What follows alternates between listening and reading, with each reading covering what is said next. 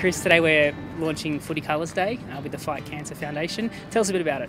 Yeah, it's a great initiative um, by the Fight Cancer Foundation, and uh, basically it's about um, you know wearing your favourite footy colours and uh, and trying to raise money and, and support kids' cancer. Uh, you know, obviously uh, it's something that um, it needs as much support uh, as you can get, and um, to be able to come up with an initiative like this and have a bit of fun with it and um, show your colours and your passion for your club and, and, raise money and support it at the same time, it's a great initiative by the Fight Cancer Foundation.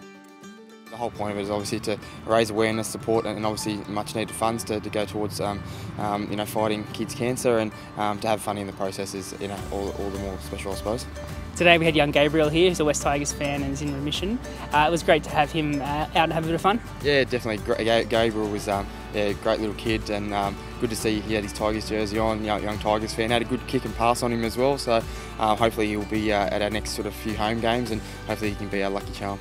We gave him a ball and a jersey so he can go home and uh, practice a bit more and hopefully see him out in Tigers colours one day.